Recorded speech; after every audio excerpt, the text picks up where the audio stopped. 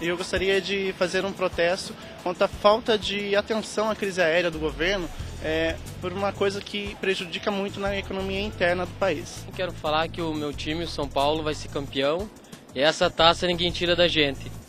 E mais uma, o melhor vai ser que nós vamos erguer a taça na Baixada, no Campo dos Porcos. Quero fazer uma pergunta pro Dunga. Por que, que o Rogério Ceni, o melhor goleiro do Brasil, não é o goleiro da seleção brasileira? Vai levar aquele Júlio César, aquele ruim do caramba. Falou. É o seguinte, domingo tem o Grenal, entendeu? É uma pena que eu não vou estar em Porto Alegre, entendeu? Mas só por estar aqui em Curitiba já tá valendo. O que eu mais tenho vontade nessa vida é participar do Big Brother Brasil. Só que eu tenho certeza que eu nunca vou, porque a guria que mais fez sucesso no Big Brother até hoje é da minha cidade. Mas eu acho assim, vocês não devem tentar oportunidade só pra ela, só porque ela é loura, tem peitão, pá, bonitona, ex-Miss Brasil. Vocês têm que dar valor também ao negão aqui, que também tem talento, tem muito mais pra mostrar do que ela, entendeu? Falou? Está fazendo 15 anos que o funcionário público do executivo não ganha aumento. É uma vergonha.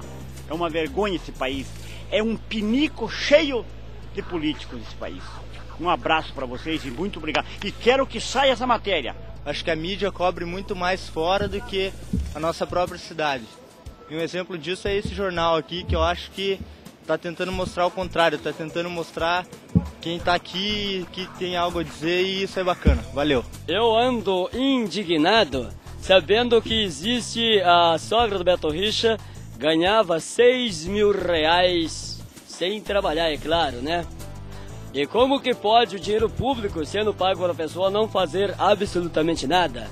Se não sair, eu vou brigar com você, seu câmera de meia tigela.